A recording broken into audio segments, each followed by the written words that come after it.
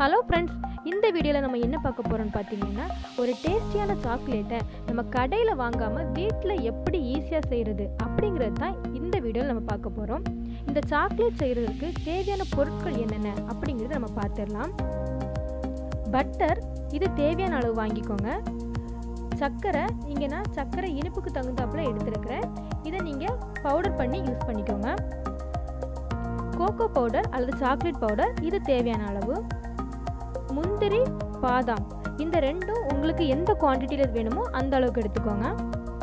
இந்த சாக்லேட்டுக்கு முக்கியமானது பால் பவுடர் இதுவும் எவ்வளோ குவான்டிட்டி வேணுமோ அந்த குவான்டிட்டிக்கு எடுத்துக்கோங்க. இப்போ நம்ம சாக்லேட் எப்படி பண்ணுறதுன்னு பார்க்கலாம். இங்கே நான் ஒன்றரை கப் அளவு பால் பவுடர் எடுத்துருக்கிறேன். அதுக்கு ஐம்பது கிராம் அளவு கோகோ பவுடர் ஆட் பண்ணிக்கிறேன்.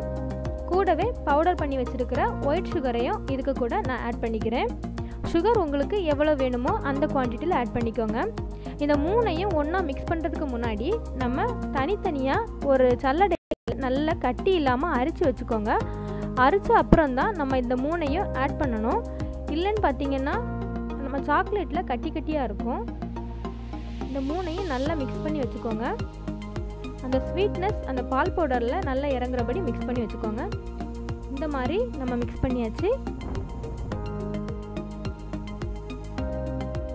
இப்போ அடுப்பில் ஒரு வானலியை வச்சு நம்ம பட்டரை ஹீட் பண்ண போகிறோம் பேன் ஹீட் ஆனதும் நீங்கள் சிம்மில் வச்சுக்கோங்க. சிம்மில் வச்சுட்டு நம்ம எடுத்து வச்சுருக்கிற பட்டரை அதில் ஆட் பண்ணிக்கலாம்.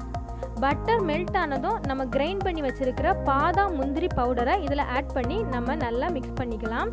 இந்த பாதாமி முந்திரியையும் கிரைண்ட் பண்ணின அப்புறமேட்டு இதையும் நம்ம சல்லடையில் ஃபில்ட்ரு பண்ணி யூஸ் பண்ணணும்.